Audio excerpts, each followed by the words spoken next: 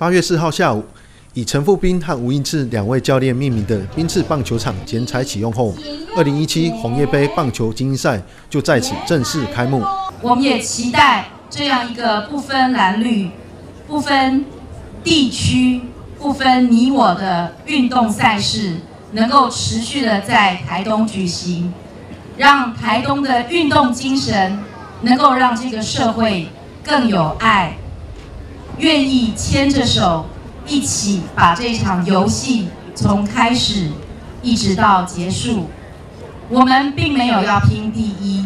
但是我们要拼，是我们共同在这场比赛中所创造出来的合作、团队、竞争的精神。我们在座的每一位都是在为棒球写历史，让我们大家一起为棒球来努力，一起来为棒球来奉献。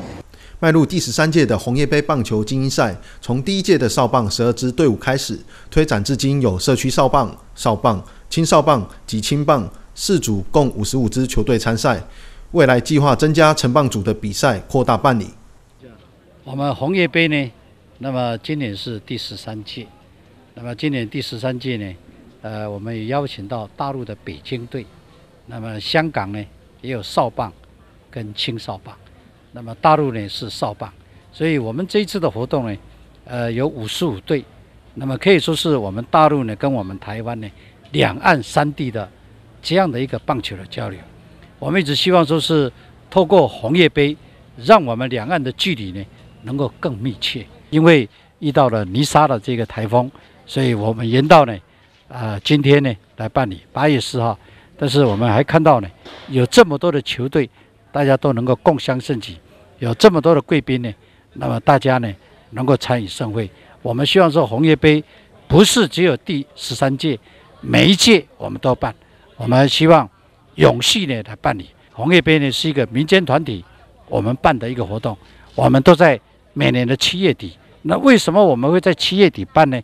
是因为红叶当初呢在民国五十七年，我们是以七叶比零打败了。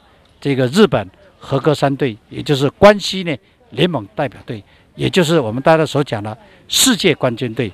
从此以后，我们台湾的棒球呢风起云涌，有少棒、青少棒到青棒，所以饮水思源，台湾的棒球，我们应该特别的感谢我们红叶国小。为了要感谢红叶国小，我们十三年前呢就办了这样的一个活动。那么从当初的呃十二队，呃我们一直呢。到了将近的六十队，我们希望呢，呃，除了少棒、青少棒，我们也办，青棒也办。那么我们工作人员讲，是不是是大学的成棒呢？我们也办。我想这个都是思考呢，我们未来应该走的方向，让我们的红叶的精神，红叶第一，台湾最棒，这样发扬光大，不怕苦，不怕难。那么这个就是我们红叶的精神。创立台东古乐乐乐舞团的声乐家胡代明带来原住民歌舞表演。